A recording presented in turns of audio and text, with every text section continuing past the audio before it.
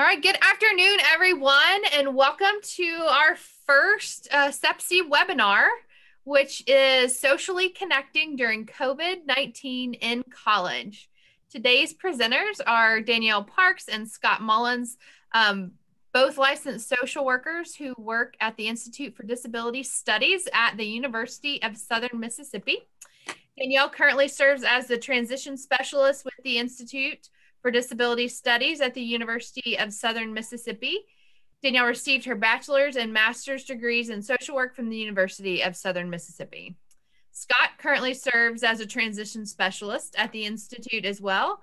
And he grew up in Wesson, Mississippi, where he graduated from both Wesson High School and Paya Lincoln Community College. Copiah. Scott received his bachelor's and master's um, in social work from the University of Southern Mississippi and graduated as a Phi Alpha Honor Society member. So I'm going to turn it over to Danielle and Scott. Thanks so much for joining us. Well, good afternoon, everybody. First off, um, it's such an honor to and a huge thing to be the first one for this whole webinar series. So hopefully we set the bar a little high, but we thank each of you for coming. Uh, like Susanna said, um, my name is Danielle Parks and I'm the transition specialist and have my colleague member here, Scott Mullins, uh, who's also a transition specialist. And today we're talking about socially connecting during COVID-19 in college. And here on the title screen, y'all will see different pictures of many different individuals who have been part of our programs in some capacity. So on the top left, we have some high school members who are doing an employment program of ours. We have two post-pilot, post-secondary program students represented on the screen. We have some a group of members in Special Olympics College and a self-advocate and also a step up to leadership event, which we're going to talk about step up to leadership event later on in the presentation, but they're on the title slide because it's all about them. So that's a huge representation of us at IDS. Oops, sorry. Okay. So just a little bit about IDS. So we are Mississippi's UCEDD, which is the University Center for Excellence in Developmental Disabilities which means that we are under the umbrella of the AUCD network, which is Association of University Centers on Disabilities. And so to wrap up of what a UCEDD is, so we um, facilitate the flow of dis disability related information between the community and the university through different things like research dissemination and service and also education. And again, there are some more pictures up top of some of our young people in our programs. So here is our mission statement at IDS. So we serve individuals with disabilities from birth on to uh, adulthood. So I think uh, the oldest one that are in our program is probably in her 30s. Uh, so we are about serving these individuals in Mississippi people who have disabilities as well as their families. And as y'all can see in our mission statement, the huge components of IDS is independence, productivity, and community and inclusion, no matter what age range it is. So here on the screen as well, we have two pictures of, we have an individual in our transition to adulthood programs that served uh, in one of our employment programs doing an internship. And then on the bottom here, we have uh, our AmeriCorps group, which Scott is going to talk about just a briefly, uh, serving the community. So at IDS, we have four different priority areas. Uh, so briefly, um, just want to hint on those. So we have early childhood inclusion and education. So within that area, we promote quality educational experiences for young children with disabilities and this is done through our Mississippi Early Childhood Inclusion Center. And within that uh, program, they provide different screenings to families statewide. Um, so that's what they do in that. We have our housing area. Uh, to the left here, we have a staff member in our housing program giving our mayor, Toby Barker, an award during Homelessness Awareness Week. And in the housing program, uh, they assist families who are experiencing homelessness or living in shelters and that they that need to be quickly rehoused and uh, stabilized permanent housing. And also the last two areas, uh, the transition to adulthood, um, and it's in bold and red because that's the area that we represent. So in transition to adulthood, we promote the development, overall achievement for youth and young adults with disabilities. We're huge on promoting independence and commu- community living in different areas such as like self-advocacy, employment, uh, and so we provide different transition services and programs within those areas. And to the left uh, is a group picture of some of our young people with disabilities, as well some of our staff members. Our Transition to Adulthood area has a huge honor of receiving the Mississippi Torchbearer Award uh, for carrying the torch for people. So here are just some of our learning objectives that we're going to uh, talk about today. So we're going to talk about the importance and benefits of inclusive social engagement and recreational activities in general, as well as more importantly, after COVID. And then also, uh, we're going to actually do a live demonstration. Uh, hopefully, we'll get to two of them, but definitely one of them of an actual demonstration of a virtual platform that we use. And we're going to get y'all involved in that today. And then on the bottom is actually one of our pilot post-secondary program students on her first day back to class uh, after COVID hit. So a little bit about our pilot program, and I say pilot guys because we are not an official program yet. Obviously we want to be, but um, we are the Higher Education for All pilot program at the University of Southern Mississippi, and we were funded by the Mississippi Council on Developmental Disabilities. We are actually in our second year of being funded as a pilot program. So, a huge thanks to the council for funding us through that. We have had seven students uh, total the past uh, two years throughout the pilot program. Five of them have been community adult learner students, which just means that they have taken one class a semester instead of enrolling as a full-time student.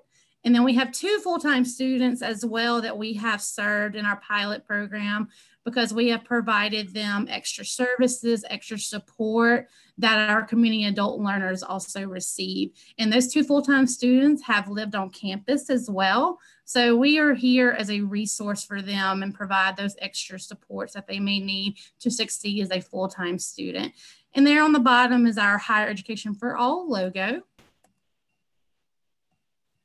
So uh, our pilot post-secondary students take inclusive classes, whether it's for an audit or a grade, uh, probably like most of, or not all of y'all's programs, but that is up to the individual uh, to decide on if they want to take it for an audit or a grade. We do provide recommendations. So, like for like right now, actually, we are in the middle of advisement for our uh, young people with disabilities who are in the pilot program. And the academic advisor and also ourselves will provide recommendations to them based off of how they're doing in the class this semester. If we think um, if they're capable of taking it for an audit or a grade, but solely it is up to the individual and the family to make that decision. Also, we have a huge component of campus and community involvement. So we encourage them to get involved in at least one campus organization. And then we also ask them to do community service because it's about giving back and volunteering. So uh, we require them to do community service. We use person centered planning. So, a lot of y'all may have heard of it before, but it's about putting them in the center of their plan um, in college. And also, we do this in all of our other programs.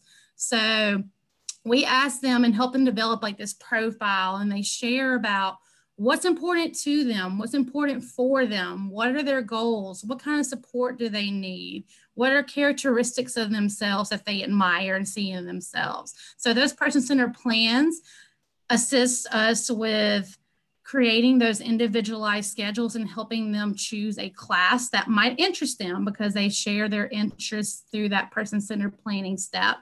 Uh, so we develop those individualized schedules based off of that.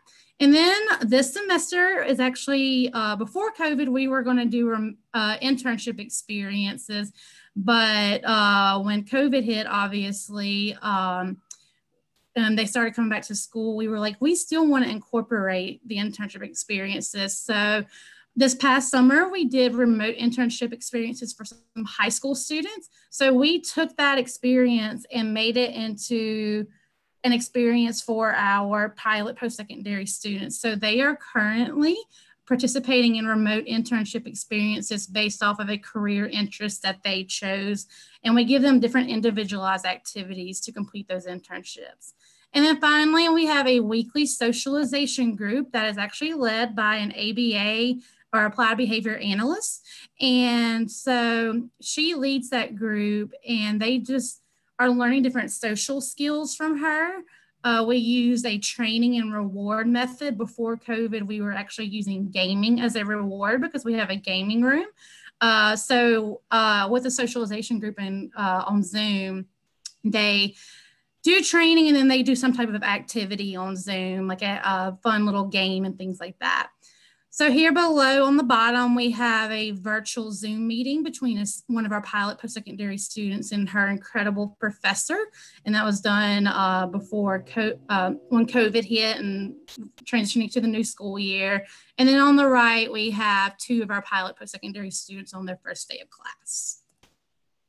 So in general, we need to talk about in this presentation what is the benefit of social engagement and recreation for post-secondary students with disabilities? So exposure in, to interaction with peers. So it's about developing those social skills that will help them succeed uh, beyond college into employment and things like that is it making them interact and push themselves socially to form those connections with individuals that maybe they've met bef- never met before. Um, so it's about developing those social skills and using those interactions to develop those relationships. So, research has said there is a link between the quality of college life and growth and development with, for social engagement and recreation. So, it's about that personal growth. It's about helping them succeed in college. So there has been researchers said there's a link between those two. We want them to grow personally. We want them to develop pers- in, on a personal level. So that social engagement, recreational opportunities can help them with that.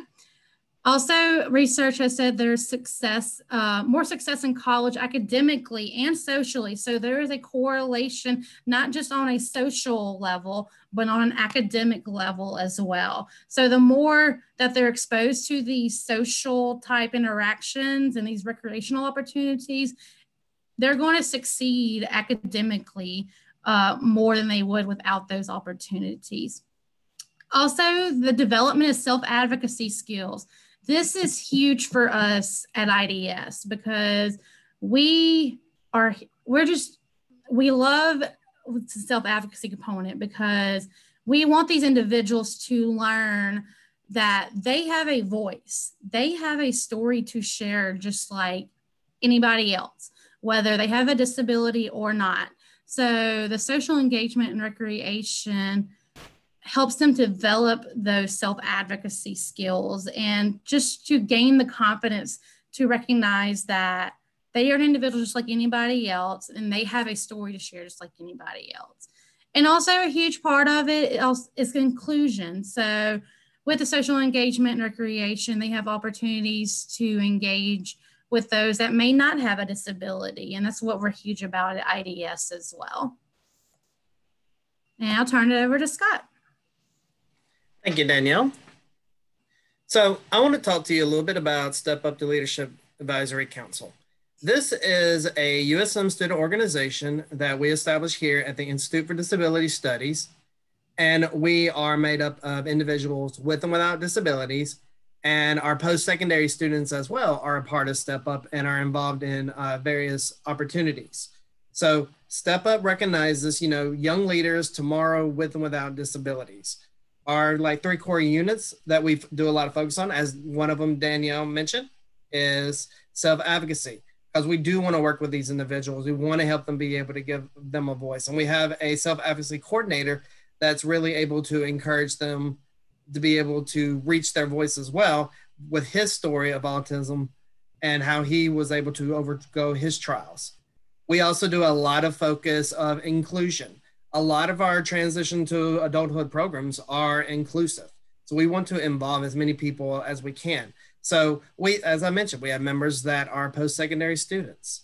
We have members that are community members, and we also have some that are also high school students as well, coming into getting ready for their transition into college.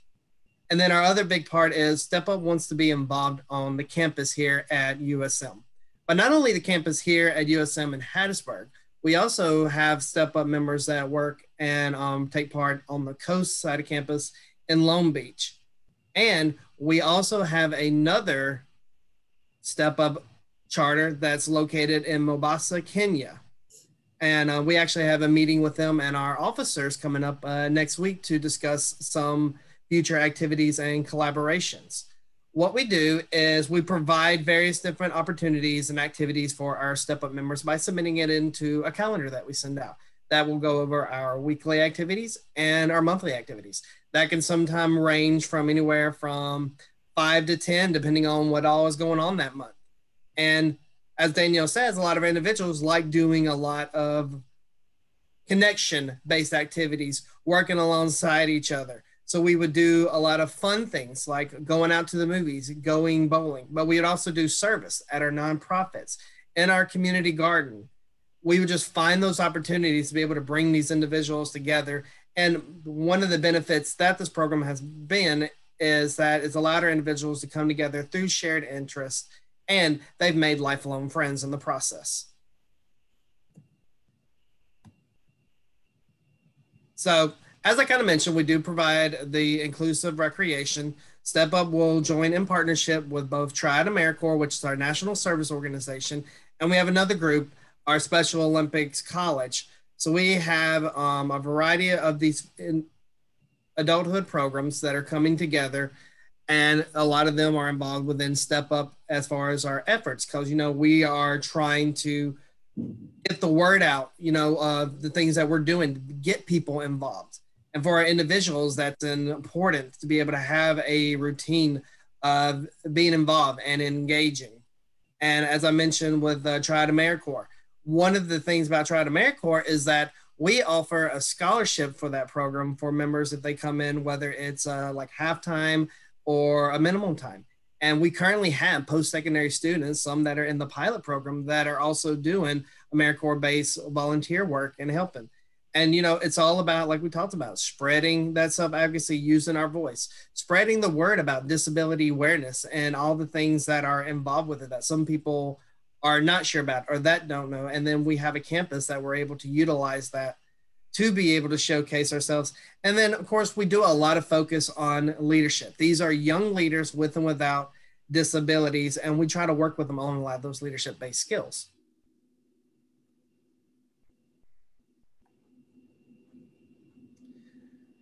So we were pretty involved, as I talked about, five to 10 events, being in person, things were going great, and then boom, COVID happens. And of course, as all y'all know, everything's been affected by COVID. Shut down. Our state had a um, shutdown. Other states had shut down. In-person events stop. Everybody has to wear a mask, social distance, staying at home, and for our individuals, that's a little bit difficult because a lot of some like I talked about, we have individuals with without disabilities, and some of those with disabilities don't have um, their driver's license and such.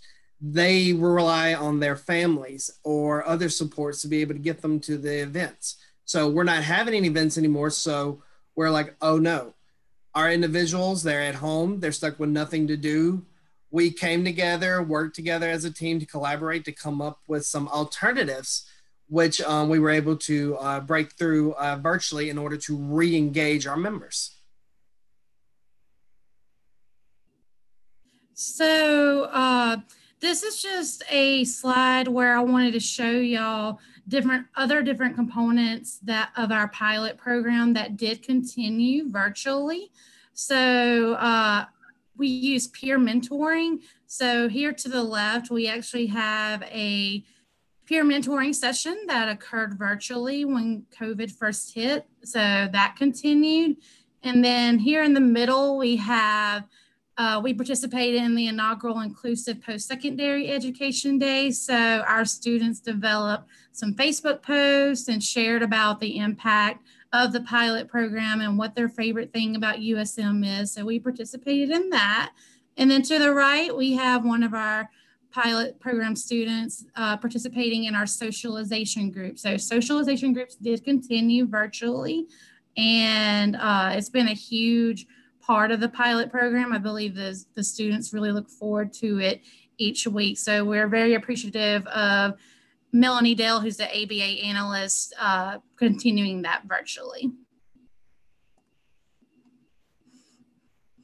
So one of the things that we decided to uh, utilize during this time of being shut down to re-engage our members is a um, social engagement platform called Discord. Now, Discord was created in 2019, and it was a, a, location for gamers to be able to come together and talk about gameplay, share their gameplay, tips, secrets, and all of that. But due to COVID, Discord changed and it adapted and saw the need that they needed to become a little bit more accessible. So they started opening up and allowing more opportunities to do be more creative within Discord that can be even outside of just gaming and we were one of the organizations that were able to utilize this. So we utilize this by it's a basically toss and text channel, and we you know we use audio chat channels, we do texts, gifs, photos, and we do video messaging as well.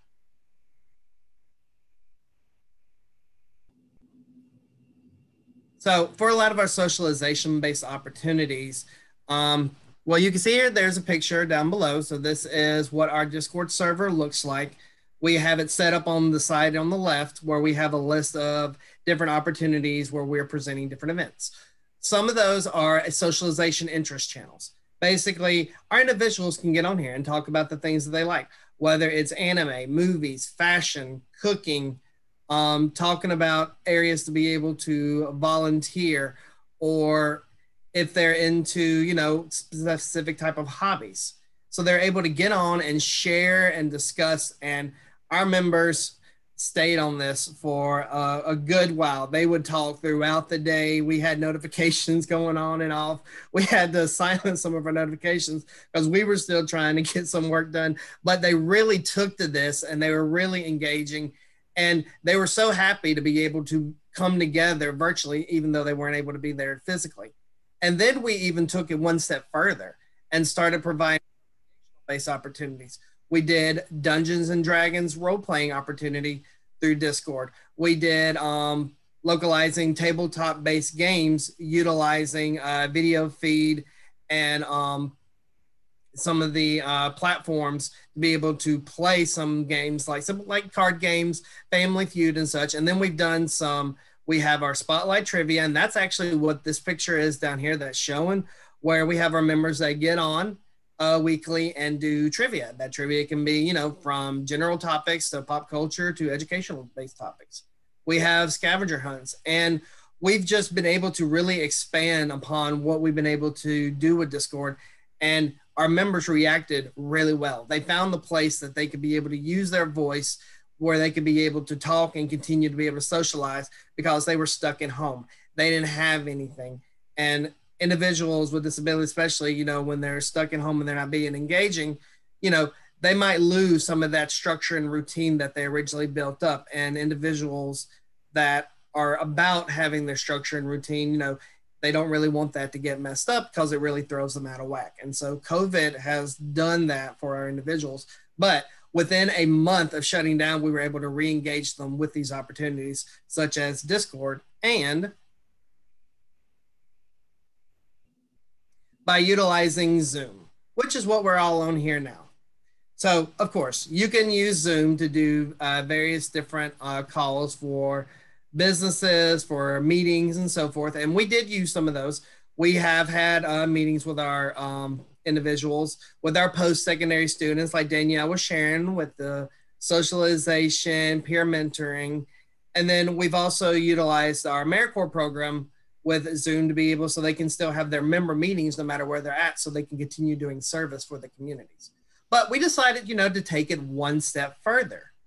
So we started utilizing Zoom to actually host events, whether we did music based events. We used the whiteboard function on Zoom to be able to do uh, some Pictionary opportunities. We have hosted various different virtual parties and the picture down below shows a variety of our different members. And this was one of our first big virtual events that we were able to host back in August, starting the new year of Step Up.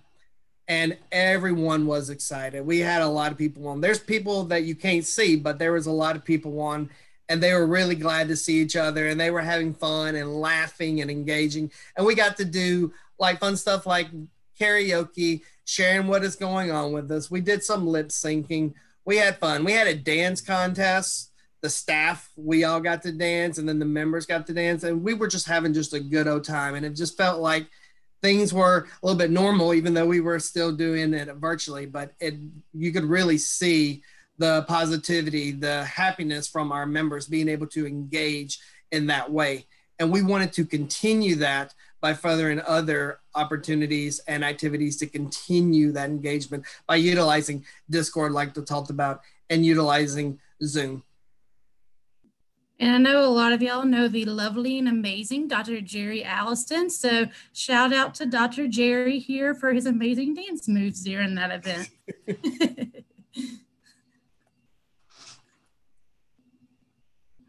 So, like we talked about, for socialization opportunities, we did socialization groups. We have a news series where when we have an intern that goes over, you know, information going on in the news in the world, IDS information. What is our community doing? And she takes it one step further in order to be educational. And she talks about events that's happened in the history, but that's happened in the same date or in the same week. We've uh, utilized it for like we talked about with our meetings with our step up officers, our triad officers, and we've utilized it for various other different training opportunities, uh, both within AmeriCorps, within Step Up, and even our employment programs as well. And like we're talking about for recreation, we created a series, a crafting series, Crafting with Dawn. There's a picture below here that shows us at our Halloween Boo Bash event, and Miss Dawn happens to be the last picture that's on the right in the witch's hat. So she created a series where we were able to do different crafts and projects, and a lot of our members enjoyed being able to do that and be hands-on. And we've created of so many different things at home. The members have been able to bring them up since being able to come back to the office here and there, and we can be able to use those in our own uh, future fundraisers that we got going on. Like I talked about, we did various different games. We utilized Zoom to host an exercise fitness program called Fit Five where we had our AmeriCorps young leaders with and without disabilities, and one of our um, another one of our post-secondary students was able to lead that event with our members. We've done a cooking series, and like I talked about, we utilized different type of virtual come-togethers, our school celebration, our Halloween boo bash, and you know we have different ideas for more stuff in the future, but it's really shown that it's working and really engaging with our members that cannot be here in person with us as much as we would like them to be. And then also in this picture, this was from our Halloween Boo Bash. So we got people dressed up in costumes. So we had our showcase. We did some more karaoke. We played some Pictionary. And we just had a good old time just being able to come together during such a time of uh, dealing with all this pandemic and shutdown and the effects that everybody has been experiencing. And we actually just had an event last night. Um, so we had a ladies' night virtual sleepover. And I will say it turned out honestly better than I ever expected. Uh, so we had different games that we did. Uh, Miss Dawn did a cooking uh, where she showed us how to make a sleepover snack. Uh, they and then we just had time just to socialize and you know, talk about boys and things like that. So it, it was an incredible event. It honestly ex- exceeded my expectations. So. So being able to utilize these opportunities through Discord and Zoom, um, you know, we're able to bring about these different firsthand experiences for our individuals. And a lot of them, a lot of it comes down to is a big sense of, you know, of a connection coming to be able to together um, virtually since we weren't able to physically. This is how we were able to continue to engage our individuals to find out what was going on with them. This is how our programs were able to continue even with people not being able to allow to come back in person. Um, we have one of our individuals here, a picture off to the right here. So she is a post-secondary student in our pilot program, and she is a Step Up member and a Triad AmeriCorps member. This is her participating in our virtual fitness group that we were talking about, Fit Five. So when one of our individuals would be leading the program, our members would be outside or inside, wherever they wanted to, and then do the exercise along with everybody. So we were able to get some pretty good pictures of them being able to do that another good positive benefit of being able to utilize these different virtual opportunities is we were able to be adaptive with it.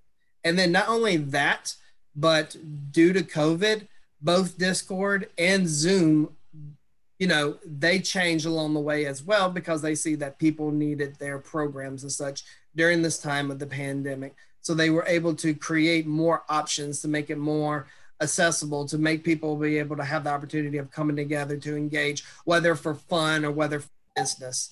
And then just in general, like I talked about, there was just such an excitement of our members being able to come together and see each other and talk to each other and find out how they're doing and such. And it just increased the main mood of everybody that was being affected by COVID 19.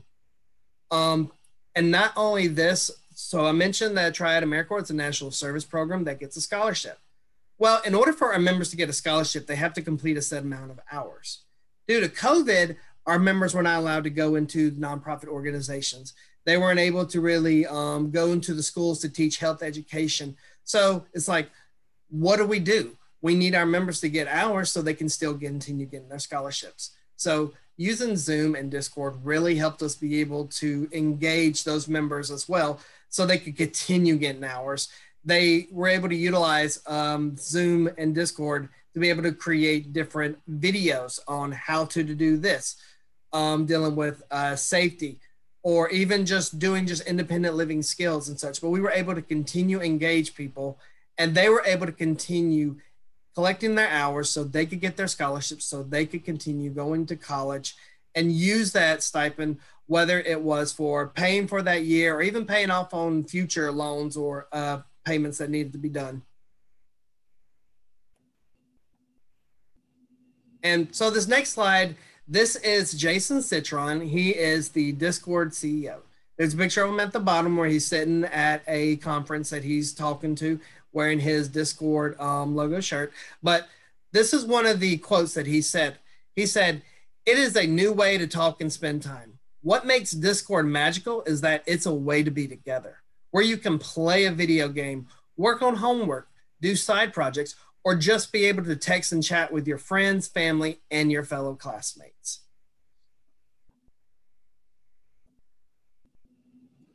So, what better source is there than the actual young people who have participated in these virtual events? So, when we were asked to do this presentation, we decided there's no better source. So we're just going to go to them and ask them, what has it been about these virtual opportunities that has stood out to you? How has it helped you through this trying and difficult time of COVID 19?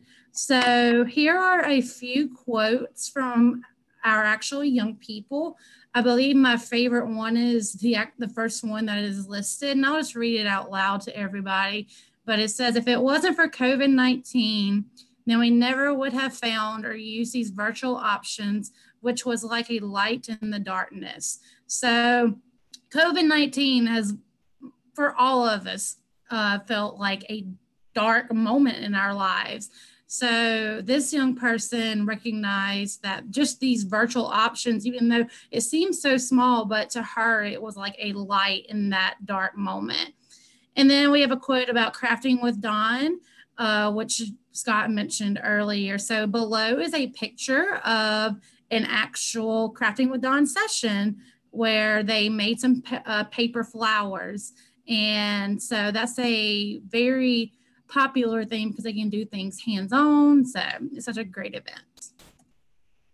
And then here are just a few more quotes from our young people. So here to the right, we have uh, one of our young people who was at home and participating and interacting on a virtual uh, event or a virtual meeting. So as y'all can just see from these quotes, the main theme that you see is the sense of connection that it brought back to everybody, even whenever we were not together or not able to be in person. It still brought that sense of connection back to everybody. So. So now we actually want to do a live demonstration with you, utilizing both Discord and Zoom, um, provided we have time. So first we're going to do our live demonstration through Discord. And we have one of our interns currently. She's going to be leading one of our spotlight trivia sessions. Now, we're not going to do a full um, spotlight session where we do normally with um, 12 questions and a special spotlight question at the end due to time constraints. So we're going to do three questions and then an extra spotlight question. So our members are going to be on here and we have some of them that's that's going to be participating. So we're going to be able to start doing the session. But we don't to watch we want you to participate. So, like in the chat box. So, when you see a question pop up, why don't you answer it in the chat box? Let's see what y'all think about some of this. And a huge shout out to Susanna for being uh, willing to join our Discord channel so that y'all can get a visual. And so somebody in the audience can also see what we do on Discord. So thank you, Susanna, for being willing to do this. So as you see here, Megan is on, and so she's about to start.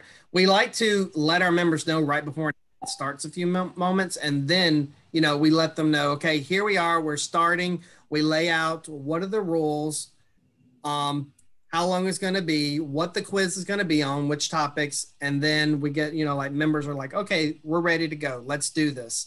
Like, okay, so then we start with our first question.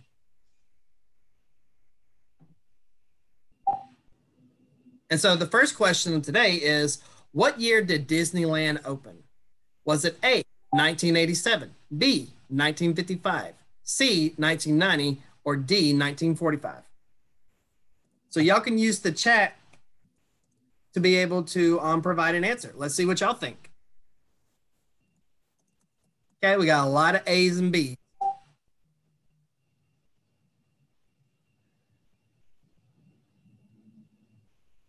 Got a few D's here.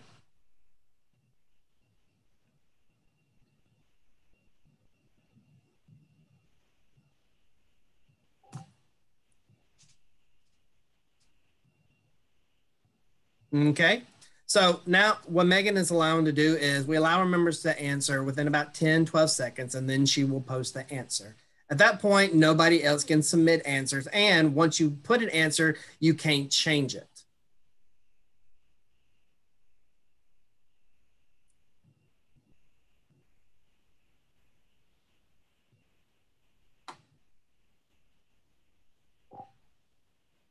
And the answer is B, 1955. A lot of you said that, but a lot of you said C, some C, some D's, and everything. But the answer is 1955. And sorry, Miss Susanna, you didn't get that one, but maybe the next one. and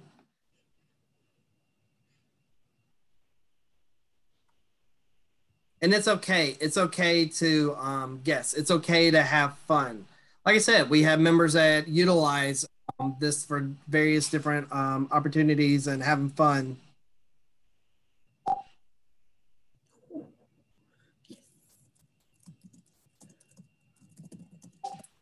Okay, so question two. Which Full House character voices Aladdin? Is it A, Steve, B, Danny, C, Joey, or D, Jesse?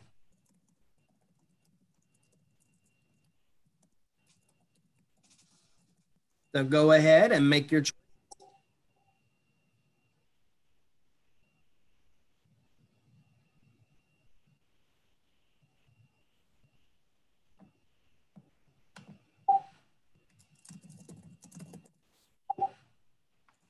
All right. Have a lot of A's and some B's. Miss Danielle's playing. So she's utilizing a gift from the show with Michelle saying, You got it, dude.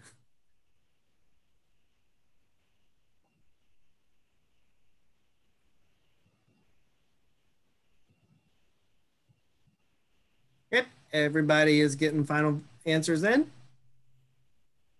And Miss Megan's about to provide us the answer.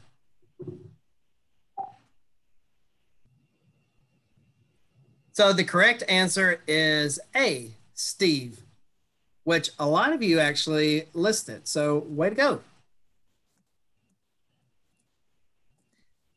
Sometimes when we do these, um, especially if it's more the educational based trivia, provide the answer, but we also provide like, here's a little educational tidbit.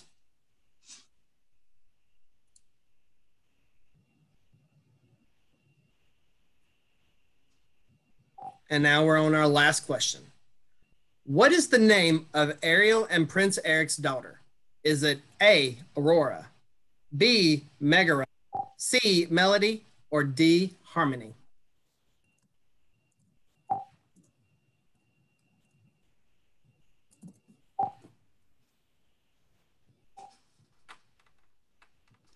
As this character was featured in Little Mermaid 2 Return to the Sea.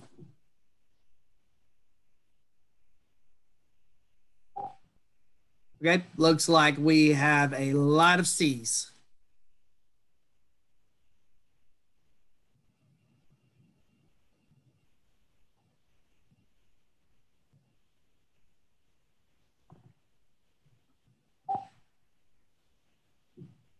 All right, another person signing in. Oh yeah, we got a lot of C's across the board. A couple of A's, a B, but a lot of C's. So let's see if you're right. And of course, y'all got it. The correct answer is C, Melody.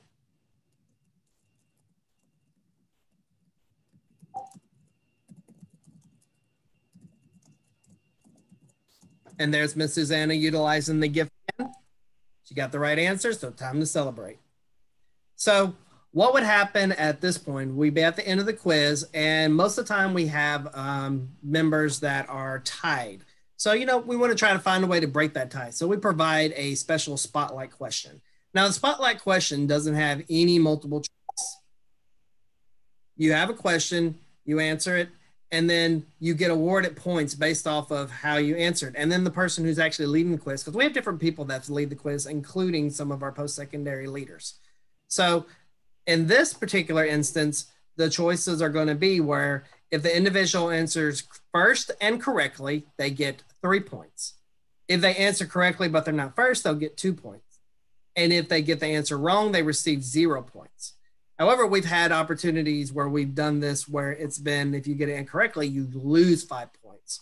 So anybody can um, be able to participate in this, and you don't have to take the spotlight challenge it's their choice. It's just like kind of a risk lose situation. Some people like going for it, some people like playing it safe.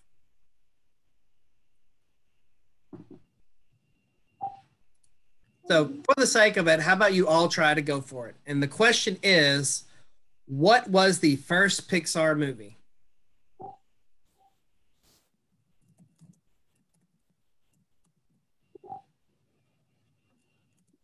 Okay, we got a lot of Toy Stories listed.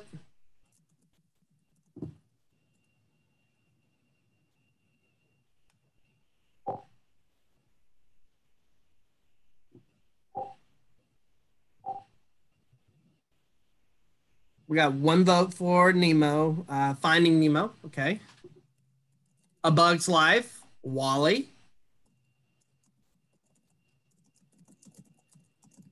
And then here we'll also provide, um, you know, like 10, 10 to 12 seconds for them to answer.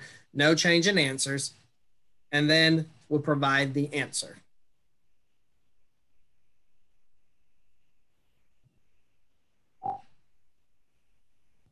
And majority of you got it. The answer is indeed Toy Story. And as Susanna used, to infinity and beyond.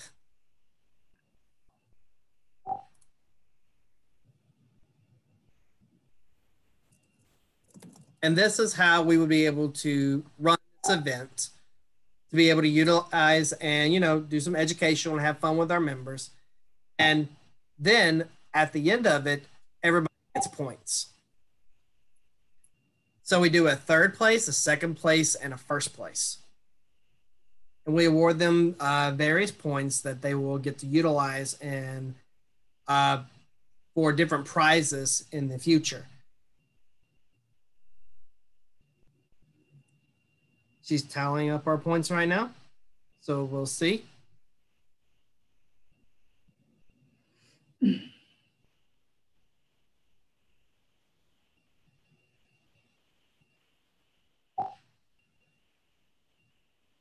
All right, Miss Susanna is in third place with 20 points. Woo, for Susanna.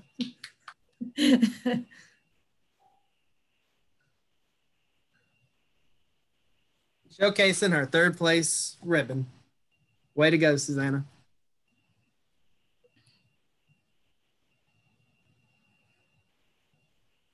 Okay, getting ready for second place.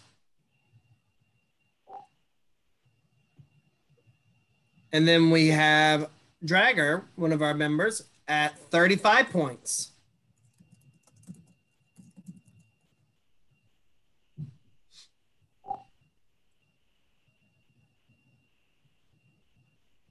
And then we get along our first place.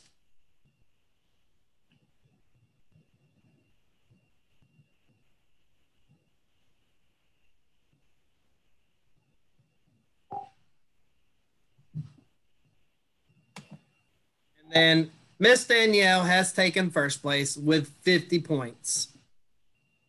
Yeah. And I promise, guys, I did not even know the questions beforehand. So I promise I didn't cheat. so this is pretty pretty much how we do our trivia event with awarding um the points first, second, and third. And oops, looks like we have an angry member. They demand a recount.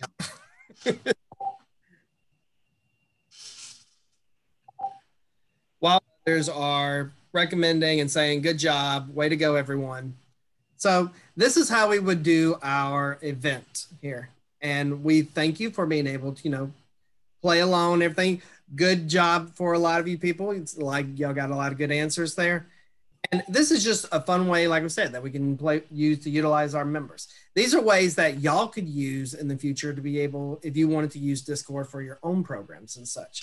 So this is just one of the ideas that we have been able to formulate and use together to continue to engage our individuals. Yeah, and to show y'all as well, uh, kind of a full visual. So here are like our different channels that Scott was referring to earlier, as y'all see to the left. So we have different social channels. They can you can actually set up a voice chat thing. So if you see a mm-hmm. speaker mm-hmm. beside it, is an actual voice chat event. Uh, the hashtag ones, as you see, is might be like through text, just like we did with the spotlight. And so, yeah, you can get very creative with it, whether it's through voice or through chatting and setting up different channels and things like that. Yeah, and you just simply go to the pluses on the side there to be able to create the channels that you want people to join. And it's a good way to get announcements out too, because if you just do the at sign and everybody and everyone that's on that server, everybody will see a message of any type of announcements or things that are coming up that you want to post about. So it's one of the ways that we get out a lot of our events other than using email and Facebook as well. So uh, unfortunately, I know we want, we, it looks like we're not gonna have time to get to the second demonstration I wanted to show y'all, but I will talk about one of the, uh, one of the Zoom uh, activities that we use. And we actually used this last night during our sleepover. So um, as mentioned before, some of y'all may have never used it or seen it, but there is a whiteboard function on Zoom. So here, uh, y'all will see during our Halloween event, we actually used the Pictionary event uh, using the Zoom uh, using the Zoom whiteboard function. So the way that we have done that is we will share the whiteboard and we have the individuals message us privately because in the chat there are options to send a message to everybody or to somebody individually. So if I was hosting the Zoom, like right now, I would have Scott or Susanna or any of y'all to message me privately something you want me to draw or to attempt to draw. Because, God, let me tell you, I'm not an artist. Trust me. You should have seen my drawings last night. Um, but we take those of what they want us to draw, and the rest of the group has to guess what I'm drawing, no matter how bad it is.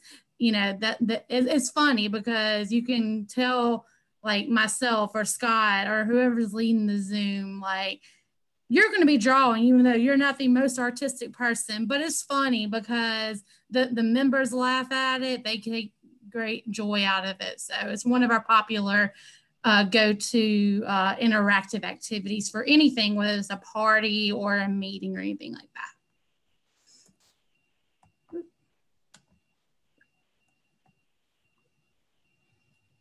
And these are some of our Discord uh, resources. So I mentioned earlier that we have a self-advocacy coordinator named Taylor Carley. And one of the things that he does with us is he has his own video series and he does a lot of ed- other editing for a lot of videos that we use with our program. Chit Chat Thursdays with Taylor, baby. And there he is right now. yes, uh, there there are several different videos that y'all can utilize right there as a as a post secondary program if you ever want to get it to just to even look at Discord. So we have a video for you on how to create a group server like our step up one. That would be one of the very first steps if you want to incorporate Discord into your program. And then there are several videos that Taylor created for you on how to set up an account, whether it's on your desktop or on your mobile application, as you can do it on your phone as well. So. And here are Someone our in the chat said that they wanted to get those links. So I'll get those links out.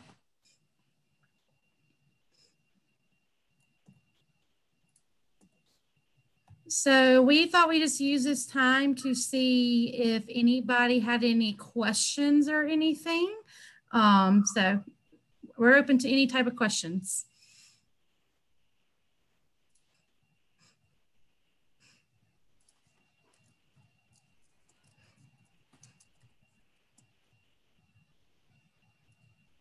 And we're an open book, guys.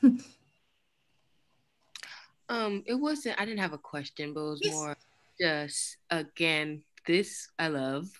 10 out of 10 um thank you guys so much for this um but same as um what they were saying before is just like getting those links to those videos on how to use discord how to set it up um because we know a lot of our students are right now we just did a fundraising campaign for some technology. So what um technology they would need um to access this and i see you just dropped it so thank you.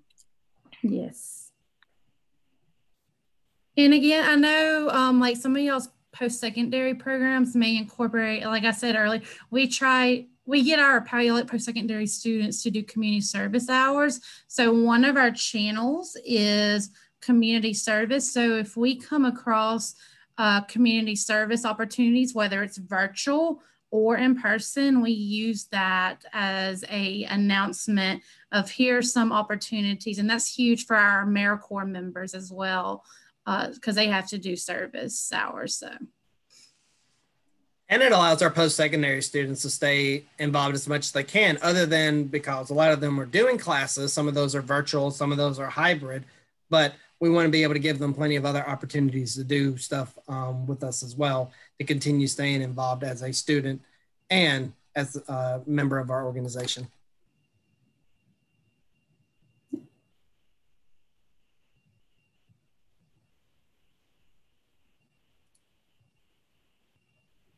And we have a uh, question here. How can I reach your organization? So um, you can contact us. Uh, I'll go ahead. That's actually the next my email in there. And then There we go. Miss Danielle's email. It's right here on the slide I have for y'all too. So Oh, right at there. and then if anybody is interested in having a copy of this PowerPoint, just talk to Susanna and she'll get it sent to you. Um, I plan on sending out a copy of the PowerPoint and the recording tomorrow or Monday. But um, thank you everyone for you know having us here to be able to share kind of some of the innovative ways that we've been able to utilize some of these uh, technologies to continue to engage our students, our members, and we just appreciate the opportunity being able to speak. Thank you, Susanna, for having us. Yeah. Hey, Scott, real quick, there are two really good questions in the chat, and I feel like this is one that you can answer. So Susan Skipper asks, are there any safety concerns with students using Discord?